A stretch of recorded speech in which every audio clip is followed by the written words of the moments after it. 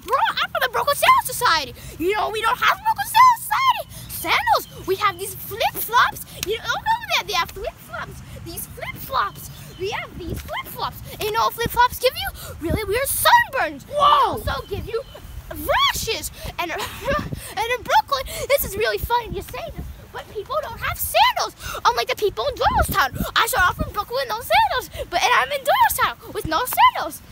I'm so freaking mad. Hey, bro, bro, you have sandals?